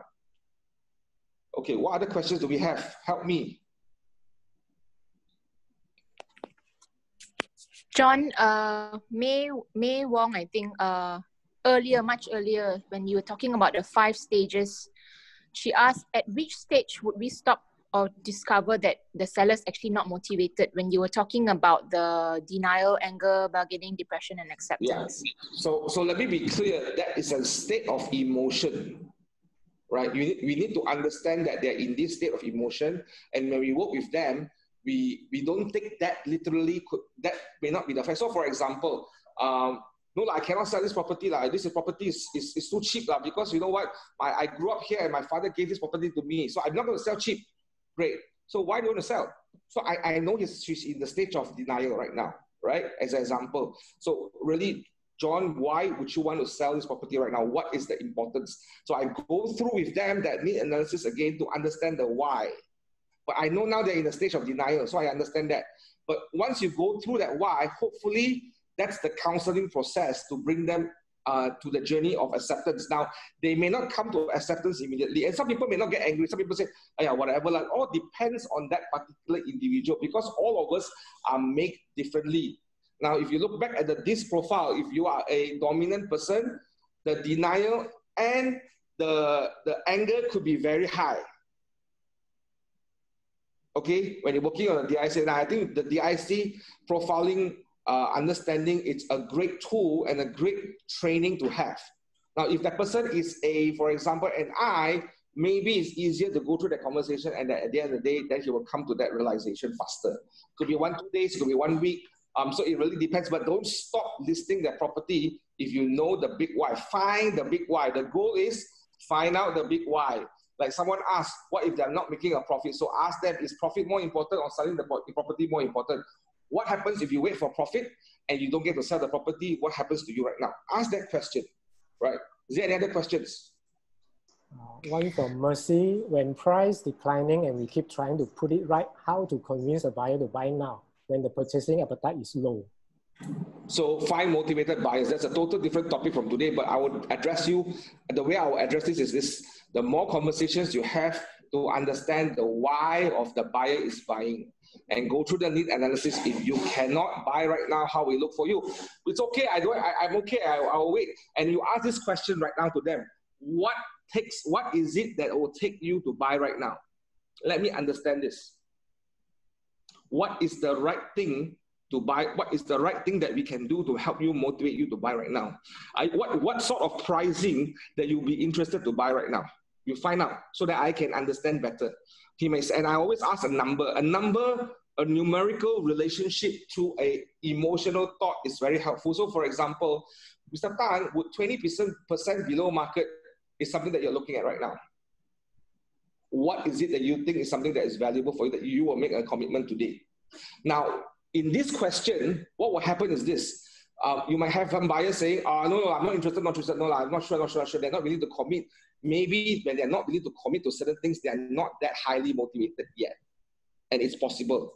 But you may have some who say that, you know what, for 30%, I will buy right now. For 40%, I will buy right now. You have just found a motivated buyer. Does that make sense so far? Uh, John, because of time, we might need to see whether anyone have any ahas and then uh... yeah, yeah, yeah. So stay tuned for some of our new trainings. Any ahas right now? Yeah, Anita wants to be a doctor. There you go, Doctor Ganesh. You are in, you are you are inspiring all of us to be doctors right now. Twenty percent below market is subjective market in which year? Current market right now. Current market price. Any other question? Any other ahas? Any other ahas? Any ahas that you all have from the conversation today? How many of you thought, think that the series that we are doing, all this training, is really adding value to your business? If you think that we are adding value right now, say yes. Someone should say too good, good. Yeah, there you go. Now, uh, one of the things that I can ask you to help me is uh, my virtual support will be keying in a link uh, for uh, the a survey done. Uh, can I have virtual support? Please do the feedback link. I, I, I ask that you will help us to improve better. If you could send that feedback uh, to us in that link um, so that we know what is working, what is not working, and what are the topics that you we would bring to you in this season of MCO so that it will add value to you and will support you in your business. So these are some of the things that um, we want to hear from you. So quickly, if you don't mind, at the end of this training, do this for me. Can I have the second, the, the other slide first? Um, another slide. There you go. Um, both of them, these two doctors here are here to support you in your business. Um, they have committed 30 minutes uh, for agents who are in production. If you are an agent right now, and you are in production, meaning you must be a production agent, not a rookie agent who has not done any transaction. A production agent, um, feel free to reach out to them. This is their emails and their contact numbers. Um, and they will be happy to share a 30 minutes meeting with you to run through your business and do some audits and try to understand how they can help you to point you to the right direction. So I think one of the key things that you could agree with me that these are all going to be doctors that will help you not only for buyers and sellers, but for your business, right? So, so, so please, I'll keep the slide here right now so that you guys can take time to copy down the context and all that. Appreciate the feedback. We've got some sessions, uh, being some, someone asking, uh, I think Tio Bing Liang, Bing Liang, you are asking us, would we have more training? Absolutely. We are now in the process of uh, uh working out uh, virtual training KW Malaysia 2.0. It will be more exciting. It will be more packed with many trainings. There is also going to be regional trainings and market center level trainings that we will be announcing soon, somewhere at the end of this week. Um, we will be going into, as I repeat, we will be talking uh, in Bahasa Melayu, in Chinese, Mandarin, Cantonese, and also in English. So we'll be having easily more than 10 sessions coming up your way right as we talk uh, uh, within this week, we'll be announcing because I will having meetings with my regional team and we will bring you the best content we can. And you'll be surprised with some of the speakers that you may not have met before will be coming on stage to share their experiences and some of the content that we have from KW University. Um, yeah, Tamil, James, sorry, haven't, haven't found someone yet to do it. Uh, unless Ganesh is willing to go that direction, I'll be very willing to work with him. But it's still English, Chinese, and Malay right now. Okay, um, any other any other ahas right now before we end the call? Can I just have the link for that? Uh, follow us in our Facebook right now so that you can keep uh, contact with us and have the latest updates. Um, and as well as we are not stopping here. Let me repeat, we are not stopping what we are doing here right now. It is ongoing. The battle is still on. We are going to go ahead with more trainings, more content. Um, for refill agents, look out for messages on workplace you will be positioned in groups for mastermind. Most of you will get opportunity to work with me on a mastermind session on your business, and that will be happening very, very soon. uh, but that's exclusively only for Redfield KW Malaysia agents, uh, where you are part of our family, we have deeper conversation about your business. So look out for workplace of uh, agents, uh, uh, guys, so that you know that we are in contact. And look out for my next announcement, our, our weekly announcement that's coming up soon. Right? Any more ahas? Any more ahas? Share, keep on sharing the ahas right now. Got a little bit of time as you're doing the survey. Can I have the survey link back again on, on the chat box so that everyone um, is able to participate in that survey? And we believe that we are an agent-centric business and agents' perspective and agents' feedback is very critical for our business as leadership. You are helping us to do our job better by giving us the best feedback ever. Okay? There you go. See, see, George and Ganesh, you're, as, you're, you're officially doctor right now. I, I, I, I now knight you by the power vested in me. I now proclaim that you are the doctors in Redfield right now. There you go. yeah, can we have their, their picture and their contact again on screen, please? Thank you. Yeah, there you go. And I promise you, they will not hesitate to support you and help you guys. Yes, thank you, Neil, for feeling very energized. It is the positive, uh, onward focus mindset that we need to have that even in this lockdown, there are many things that we can still do in our business. It is not the end. Now, look out for technology related business There uh, training. There will be some exclusive training just for KW Malaysia agents uh, pertaining to technology as well, um, in terms of how we are going to use context on command. So, these are some of the things that uh, we will do it exclusively only for KW Malaysia agents. agents. Okay, I think time's up. Time's up. We are just hitting at 12 p.m. Thank you very much, guys. I hope you all have a great uh, lunch and a great rest of the day. Stay tuned for some of our trainings. We will be posting certain trainings on Facebook tomorrow and Thursday and Friday. So those who are not part of KW Malaysia, um, feel free to go to our page. We will be having especially sharings about shift from James Shaw from the, the, the region of uh, North Florida, where he will be sharing, um, he's the guru of shift. So he'll be sharing certain content. So please stay tuned for that video on our Redfield page right now. We'll be sharing some of those series of trainings on Redfield page. And for Redfield agents, please go back to workplace and go through the link for the Google Drive where all the videos are there from the US. Um, you guys will, will have that access to full access, but for non-review agents, you'll get certain limited access on our Facebook page. So have a good one, guys. I will see you at the next virtual training soon. Bye.